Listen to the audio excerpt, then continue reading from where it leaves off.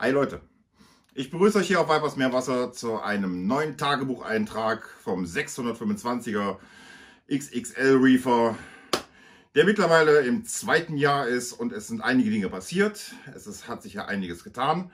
Ich möchte da noch mal eine kleine Zusammenfassung machen. Wenn euch das interessiert, bis gleich nach dem kurzen Intro.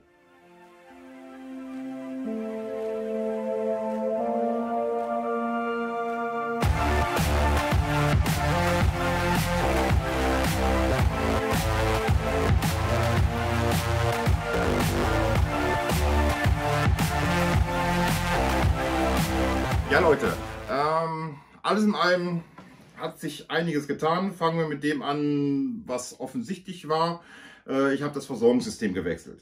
Ich bin vom Fauna Marine Balling Light weg und bin jetzt beim ATI Essentials Pro. Und ähm, ja, muss pauschal sagen, wir hatten am Anfang erstmal, um so einen Systemwechsel machen zu können, ist es natürlich wichtig, dass erstmal das System wieder auf Null gezogen wird. Da blende ich euch auch dementsprechend hier nochmal meine äh, entsprechende ICP ein, die ich da habe machen lassen, um herauszufinden, wo mein System steht. Und ihr seht, da war einiges im Argen. Dann musste ich ja hingehen und äh, musste Bohr, Flur, äh, blende ich euch ein, ähm, noch nachdosieren, um erstmal auf den Stand zu kommen. Und ähm, ja, alles in allem hatten, hatte ich das dann gemäß Anleitung gemacht, nach der Laboranalyse von ATI und habe dann anschließend nochmal eine Analyse machen lassen, um zu gucken, passt das jetzt alles, was wir da gemacht haben. Und ähm, ja, hat, im, hat insoweit gepasst. Und dann ist so, um, so eine Umstellung natürlich relativ einfach. Das alte Zeug raus, das neue Zeug rein. Man muss dann halt bloß die Dosiermengen ähm, darauf achten, dass die dementsprechend angepasst werden. Und ähm, ja, da war es im Endeffekt so, es wurde gesagt, vierfache Menge runterrechnen. Wir haben 400, ich habe bis zuletzt 400 Milliliter von den ähm, Fauna Marine Balling Light dosiert und habe dann jetzt zum Schluss eigentlich nur noch äh, so zwischen ja, 85 und 95 Milliliter ähm, dosieren müssen. Ich bin momentan so weit und das ist auch eine ganz, ganz wichtige Sache, was ich, wo ich noch, noch darauf hinweisen will. Gerade bei den Essentials Pro ist das ganz, ganz wichtig. Ähm, die Flüssigkeiten äh, sind so hoch konzentriert. Ähm, ich hole euch mal kurz den Kanister hier mit ins Bild. Dass das hier schon mal ein bisschen, ähm, ich sage es mal, auskristallisieren kann. Das ist nicht gefroren, das ist kristallisiert. So, jetzt, wenn ich jetzt hier draus was rausnehmen möchte, aus diesem Behälter, muss ich vorher dafür sorgen, dass das Ganze sich wieder aufgelöst hat. Das heißt, ich muss es warm stellen und muss warten, bis es sich wieder aufgelöst hat. Das ist der erste Punkt. Das ist ganz, ganz wichtig. Nur im aufgelösten Zustand diese Essentials äh, abfüllen. Der zweite Punkt ist ganz wichtig, ähm, wenn ich gerade bei den Essentials 1 ist es so, dass es ein bisschen ausflockt. Das heißt, ich darf es nur da reingeben, wo ich auch äh, dementsprechend eine gute Durchströmung habe. Ich habe den Fehler gemacht, ähm, habe das Ganze in meinem Technikbecken hinten in die Klarwasserkammer reingepackt. Ja, ähm, nur ganz doof ge ge ähm, gedacht, ja, im, äh, Projektbecken hat das auch funktioniert. In die Klarwasserkammer rein und alles ist gut. Dass ich da aber in der Klarwasserkammer im Projektbecken einen ganz anderen Wasserfluss habe, wie im äh, Reefer. Da habe ich in dem Moment nicht dran gedacht. Somit habe ich mehr von, den, äh, von der Variante 1 reinpacken müssen, weil sie ausgeflockt hat, weil, die, weil es nicht bewegt wurde und sich dann unten im Becken abgesetzt hat. Hinten in der Klarwasserkammer.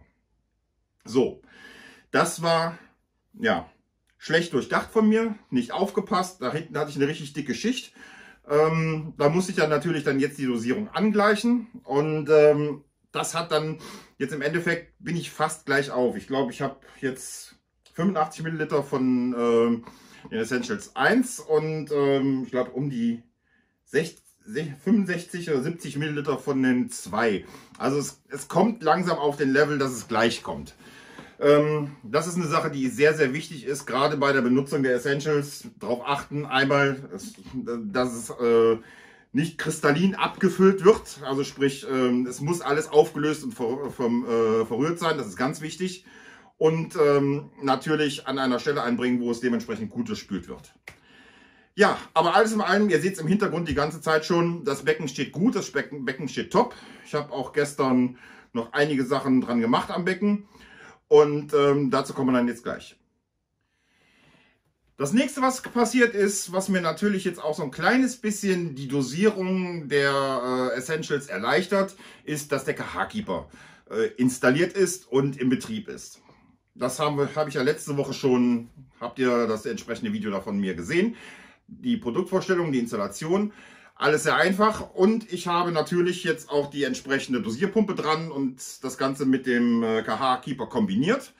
Und ähm, ich gebe da schon mal eine kleine, eine kleine Vorschau zu. Also im Prinzip sieht so aus, wie jetzt hier seitlich zu sehen ist. Die, äh, die Dosierpumpe kriegt eine spezielle Anweisung, wenn das passiert, machst du das. Wenn das passiert, machst du das. Ich gebe einen Bereich vor, den ich definiert habe, dass ich ähm, in einem Bereich von, ich glaube insgesamt einen Schwankungsbereich von 0,6 dkh ähm, diese Aktion ausführen lasse. Sagt mein kH zu weit ab, dosiert die Pumpe mir einen entsprechenden Wert nach. Ich kriege eine Benachrichtigung. Ähm, ist mein kH zu hoch, setzt sie eine Dosierung aus. Das ist jetzt der die Grundeinstellung dafür. Und das hat bisher ziemlich gut funktioniert, bis gestern. Da bin ich nämlich hingegangen und habe meine Strömung umgestellt, weil ich äh, einige Stellen im Becken hatte, die nicht so beströmt wurden, wie sie eigentlich sollten. Und jetzt konnte man an diesem KH-Keeper ganz, ganz geil sehen, das blende ich euch aber auch nochmal als kleines Video ein, wie dieser Verlauf der Kurve da ist. Da kann man im Prinzip fast genau sehen, wo ich gearbeitet habe, wo die Strömung umgestellt habe. Ähm, der KH-Verbrauch ist auf einmal, äh, der Verbrauch an sich ist gesunken und mein Wert ist gestiegen. Aufgrund der Tatsache, dass das Ganze, äh, dass ich meine Strömung verändert habe. Meine Korallen sind einfach nicht ähm, gerade jetzt in der Lage gewesen, diese Strömungsumstellung so zu verarbeiten, dass es direkt so weiterging wie vorher. Das heißt, sie haben weniger aufgenommen. Ich habe auch nichts großartig rausgenommen aus dem Becken. Die haben im Prinzip ja erstmal die Kalzifizierung und äh, die Aufnahme des KH eingestellt oder verringert, weil es wird ja immer noch gut verbraucht. Und, aber ihr seht selber, die Kurve war, war 7,5 gestern Abend und dann ging das dann hoch bis auf heute Morgen irgendwas mit 8, noch was. Ähm, ich glaube 8,1 war es. Äh, blende ich euch aber auch mit ein. Da kann man im Endeffekt dran sehen, das ist jetzt nicht das, weil es über Nacht war, weil die, die vorherigen Nächte ging das ja auch gut, ohne Probleme. Ich habe die Strömung umgestellt und zack, haben die Korallen gesagt, hier ist was anderes, da müssen wir jetzt erstmal mal gucken, was, was Sache ist. Ne? Aber das ist auch zum Beispiel eine Sache, die dann ins Gewicht fällt in einem laufenden Becken. Habe ich so auch noch nicht nachvollziehen können. Das hat jetzt erst der KH-Keeper ähm, mir ja, möglich gemacht. Der übrigens jetzt bis jetzt in meinen Augen sehr, sehr gut läuft und ich bin äußerst zufrieden mit dem Ding. Gehen wir weiter zum nächsten Punkt. Ja, der nächste Punkt ist ein leidiger Punkt und ich habe ja gestern einiges am Becken gemacht. Einmal, weil ich die Strömung umgestellt habe ähm, und zum Zweiten habe ich ähm, geerntet. Nichts Positives, sondern eigentlich ähm, ja, meine Seeastern, wo ich schon immer Probleme mit hatte und wo ich auch jetzt ganz offen und ehrlich sagen muss, Leute, schaut euch eure Korallen an, schaut euch eure Ableger an. Wenn so ein Scheißding drauf ist, holt es raus. Sofort. Ich komme nicht mehr hinterher. Ich habe mittlerweile so viele Seeastern im Becken, dass ich jetzt ähm, vor einem richtig großen Problem stehe. Ich habe jetzt gestern nur im Oberflächenbereich, also sprich äh, an der Wasseroberfläche, so kurz so ein Stück drunter, habe ich Seeastern abgekratzt von der Scheibe, äh, waren so knapp 150 Stück. Und im gesamten Becken, wenn man dann nachts mal genau hinguckt, ich blende auch gleich nochmal ein paar Detailaufnahmen ein, sind die Viecher einfach überall. So, jetzt ist die Problematik bei diesen Seeastern, um uns nochmal auf die Bekämpfung einzugehen. Es gibt zwei Möglichkeiten. Es gibt einen Fressfeind, das sind Falter, äh, Falterfische, die man einsetzen kann. Sind sehr effektiv, ähm, gehen aber auch an alles andere dran, weil sie sich generell von Wirbellosen ähm, ernähren. Unter die Wirbellosen fällt in dem Moment Anemonen, da fallen LPS drunter. Also die zupfen an alles größer Polypigem herum, was es gibt. Da ich einiges an LPS drin habe, fällt diese Möglichkeit flach. Ja, Falterfische ähm, mögen die Seeastern früher oder später vernichten. Ja, das mag sein, aber ähm, ist keine Option für mich. Die nächste Option wäre, das Ganze mit Calciumhydroxid zu bearbeiten oder sprich hier das Zeug von Red was ich benutzt habe, ähm, gegen Glasrosen. Das ist auch eine Möglichkeit, solange die Seeaster, ich sage mal, in einem gewissen Winkel steht. Ist die zu schräg und ich das Zeug hier drauf packe, ähm, rutscht es mir im Endeffekt runter und vernässelt mir oder verätzt mir die Koralle weiter unten. Ist also nicht so einfach, wie man, das, äh, wie man sich das denkt. Wegspritzen funktioniert auch nicht, weil dieser Körper einfach robuster ist als wie eine Glasrose. Ja, alles in allem bin ich im Moment ähm, ja nicht der Verzweiflung nah, aber ich sehe immer wieder, muss jeden Tag reingucken, wie schaut's aus, wo hängt schon wieder eine neue von diesen Viechern. Ähm, sind irgendwelche von meinen höherwertigeren SPS befallen, betroffen, angeschlagen? Ähm, ja, ich spiele tatsächlich mit dem Gedanken, einen Neustart hinzulegen. Das hängt aber noch in der Luft. Ähm, da weiß ich auch noch nicht, wie ich es angehe. Ich werde mich da dementsprechend beraten lassen und ähm, ich werde es euch vor allem wissen lassen, wenn ich was ähm, in diese Richtung unternehme. Und ja, aber Fakt ist, so in der Richtung, ich mir, mir, mir tut es im Prinzip in der Seele weh. Dieses Becken, so wie es auch jetzt hinter mir zu sehen ist, ist wunderschön gewachsen. Es ist, es ist wirklich ein gewachsenes Becken. Es sieht toll aus, es hat tolle Farben. Und das jetzt alles, alles auseinanderzureißen wegen dieser Seuche, ähm, ja, zwei Jahre hat es jetzt gedauert. Ich habe beim letzten Umzug wirklich versucht, versucht, ähm, alles wegzukriegen, habe aber natürlich nicht alles weggekriegt, weil ich auch kein neues Material genommen habe, sondern bestehendes. Und das ist halt jetzt die Problematik, äh, was ich habe. Ähm, ich werde wahrscheinlich, also gefühlt vom Bauch her, ähm, diesen Umzug bzw. diesen Neustart machen müssen. Ich komme nicht drum rum, wenn ich nicht noch mehr Tiere, äh, ich sage mal, verbrennen will. Wie ich das mache, wann ich das mache, halte ich euch, de euch dementsprechend auf den Laufenden. Ja, was noch passiert ist, ähm, weiß ich gar nicht, ob ich das im letzten, nee, das habe ich in der Infothek, habe ich das gebracht. Bringe ich jetzt, jetzt nochmal, blende ich auch dementsprechend Bilder ein. Ähm, das erste Mal in meiner, ich sage mal, Anemonentopf-Karriere, hatte ich glaube ich so in, der Infothek gesagt, ähm, hat sich bei mir eine Anemone im Topf geteilt. Das ist äh, bisher auch, ich sage jetzt mal, in von, von mir aus gesehen einzigartig, habe ich bisher so noch nicht gelegt. Ich bin immer hingegangen und habe die Anemonen vorher rausgeholt, weil es mir zu gefährlich war. Also, es geht also auch, dass die Tiere sich tatsächlich im Topf teilen. Das heißt, der Fuß ist nicht zu groß geworden. Die Bedingungen haben gepasst. Vielleicht lag es auch an, an den Essentials Pro, keine Ahnung. War nämlich genau zu dem Zeitpunkt, wo ich umgestellt habe. Oder wie, wo ich dann alle Werte wieder äh, ins Lot gebracht habe. Ähm, kann aber auch einfach nur sein, dass die Tiere, dass das Tier sich wohlgefühlt hat und gesagt, okay, jetzt machen wir mal einen hier.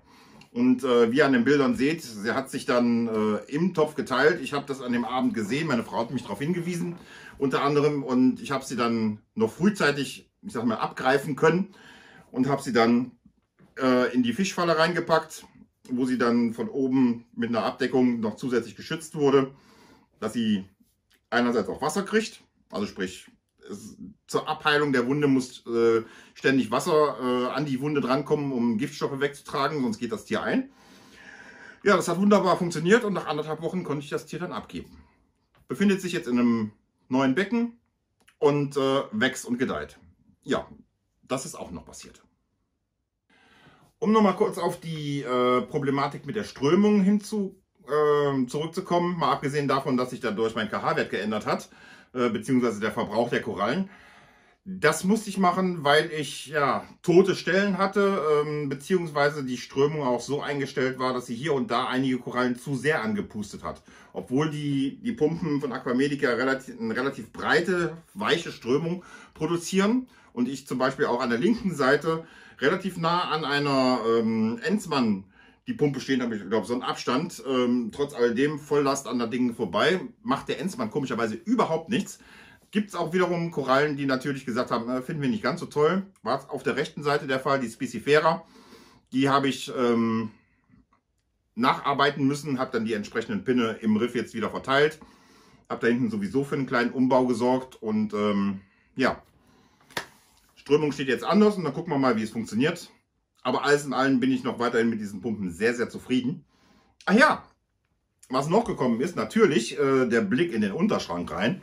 Ich habe ähm, im Vorfeld, als ich den KH-Keeper in Aussicht gekriegt hatte, habe ich meinen Unterschrank aufgeräumt. Ähm, mal wieder. Ja, weil das ist ja so alle Jahre mal, ähm, geht man dann mal hin und äh, versucht den Kabelwust da unten zu ordnen. Ich habe es jetzt, jetzt mal wieder mit Kabelschächten gemacht und äh, sieht eigentlich ganz gut aus, wie, äh, wie ihr seht. Sieht im Moment noch ziemlich aufgeräumt aus. Mal gucken, wie es dann in ein paar Wochen oder Monaten aussieht. Ja, alles in allem, das ist so das, was dem Januar beziehungsweise bis jetzt im Februar dann auch passiert ist. Ist jetzt was unregelmäßig gekommen, aber ich hatte euch ja gesagt, dass dementsprechend gerade jetzt beim Reefer das ein bisschen länger dauert. Ich gehe mal davon aus, dass ich jetzt ähm, in den nächsten Tagen ein entsprechendes Update zum äh, Projektbecken äh, euch nochmal gebe. Da hat sich auch ein kleines bisschen was getan, obwohl ähm, ihr habt in der Infothek auch schon gesehen, das Becken läuft, das Becken rennt, das sieht gut aus. Und ähm, ja, alles in allem würde ich mal sagen, war es das für heute. Ich hau euch vielleicht noch ein, klein, ein, paar kleine Bilder um die Ohren oder ein kleines äh, Detailaufnahme vom Becken, so wie es jetzt ausschaut.